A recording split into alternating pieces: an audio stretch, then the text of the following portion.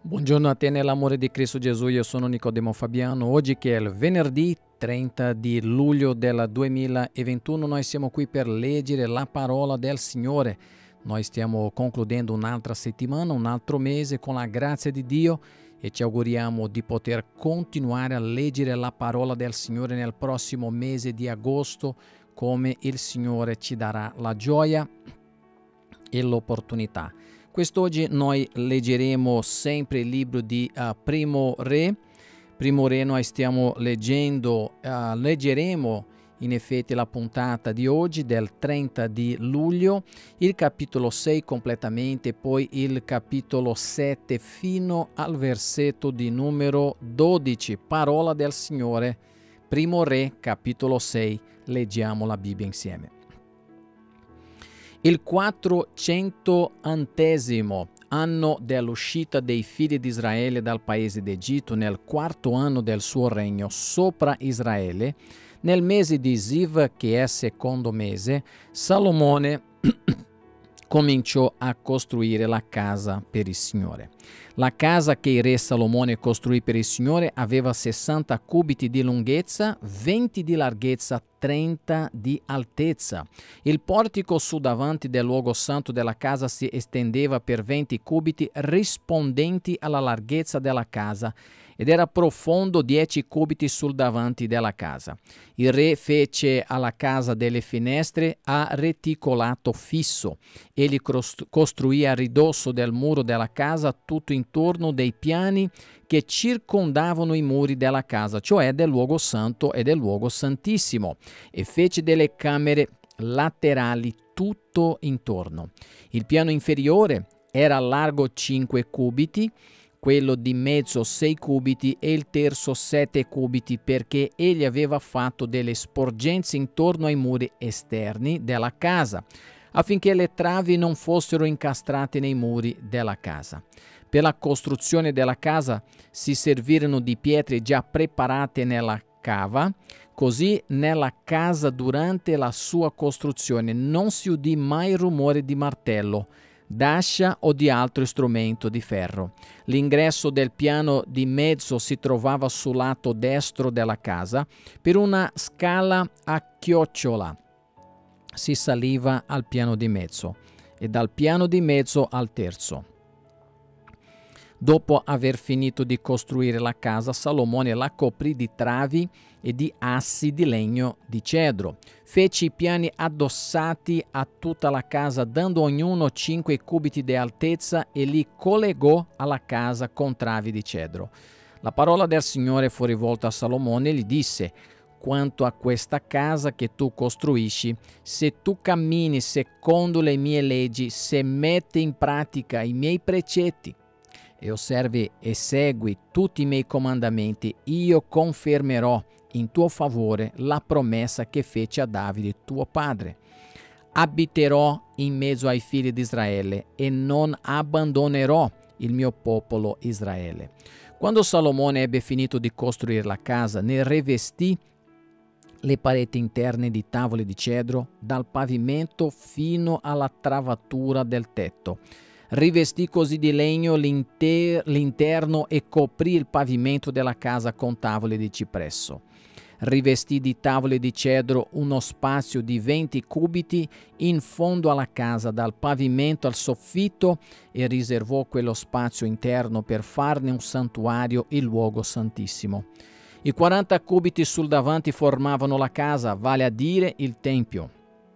Il legno di cedro nell'interno della casa presentava delle sculture di frutti di coloquintide e di fo- fiori sbocciati. Tutto era di cedro, non si, vade- non si vedeva neppure una pietra.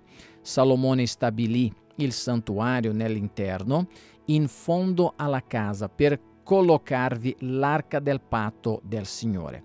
Il santuario aveva 20 cubiti di lunghezza, 20 cubiti di larghezza e 20 cubiti di altezza.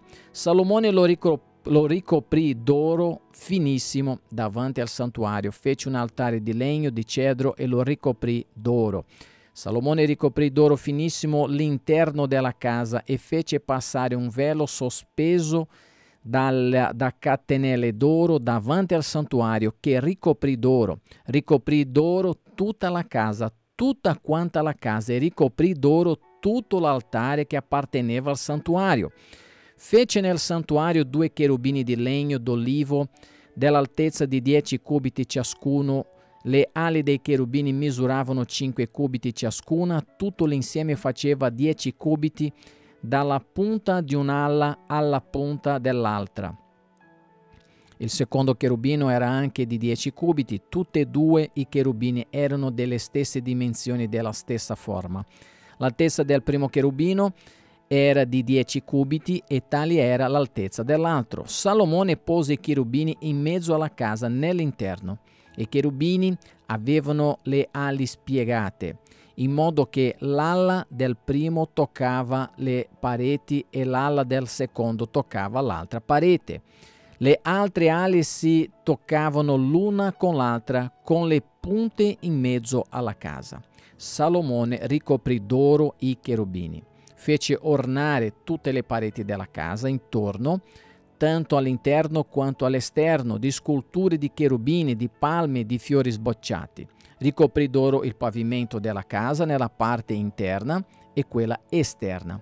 All'ingresso del santuario fece una porta a due battenti di legno d'olivo. La inquadratura con gli stipiti occupava la quinta parte della parete.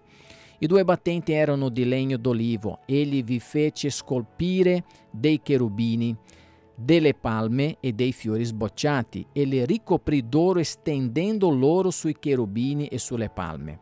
Fece pure per la porta del tempio degli stipiti di legno d'olivo che occupavano un quarto della larghezza del muro. I due battenti di legno di cipresso, ciascun battente si componeva di due pezzi mobili. Salomone vi fece scolpire dei cherubini, delle palme, dei fiori sbocciati e li ricoprì d'oro, estendendolo sulle sculture. Costruì il muro di cinta del cortile interno con tre ordini di pietre squadrate e un ordine di travatura di cedro. Il quarto anno, nel mese di Ziv, furono gettate le fondamenta della casa del Signore.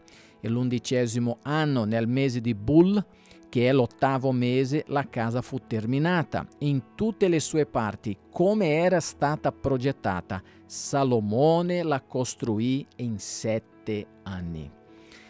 Primo Re, capitolo 7, parola del Signore. Leggeremo fino al versetto di numero 12. Poi Salomone costruì il suo palazzo e lo terminò interamente in 13 anni. Costruì la casa detta Foresta del Libano era di 100 cubiti di lunghezza, di 50 di larghezza e di 30 di altezza. Era basata su quattro ordini di colonne di cedro sulle quali poggiava una travatura di cedro. Un soffitto di cedro copriva le camere che poggiavano sulle 45 colonne, 15 per fila. C'erano tre file di camere, le cui finestre si trovavano le une di fronte alle altre lungo tutte e tre le file. Tutte le porte con i loro stipiti e architravi erano quadrangolari. Le finestre delle tre file di camere si trovavano le une di fronte alle altre in tutti e tre gli ordini. Fece pure il portico a collone che aveva 50 cubiti di lunghezza e 30 di larghezza, con un vestibolo davanti delle colonne e della scalinata sul davanti. Poi fece il portico del trono dove amministrava la giustizia, che fu chiamato portico del giudizio. Lo ricoprì di legno di cedro dal pavimento al soffitto. La sua casa dove abitava fu costruita nello stesso modo in un altro cortile dietro il portico. Fece una casa dello stesso stile di questo portico per la figlia del faraone che egli aveva sposata. Tutte queste costruzioni erano di pietre scelte, tagliate a misura, segate internamente ed esternamente dalle fondamenta ai cornicioni e al di fuori sino al cortile maggiore. Anche le fondamenta erano di pietre scelte, grandi, pietre di 10 cubiti e pietre di 8 cubiti. Sopra di esse c'erano delle pietre scelte tagliate a misura e del legname di cedro. versetto 12. Il gran cortile aveva intorno tre ordini di pietre lavorate e un ordine di travi di cedro, come il cortile interno della casa del Signore e come il portico della casa. Parola del Signore. A Dio piacendo, lunedì noi riprenderemo la nostra lettura e quindi partiremo da Primo Re capitolo 7 versetto 13.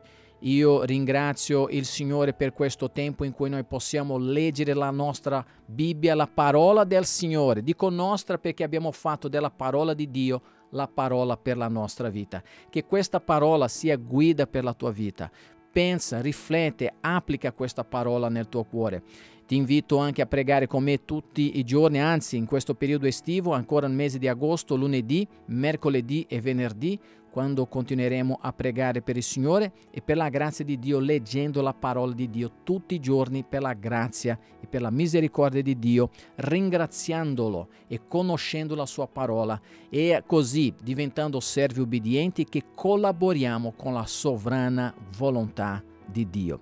Io a te ti do un fortissimo abbraccio un santo bacio, che la grazia del Signore stia nella tua vita nel nome di Gesù. Leggiamo sempre la parola del Signore insieme. Metti un like e condividi la parola del Signore per la tua vita nel nome di Gesù.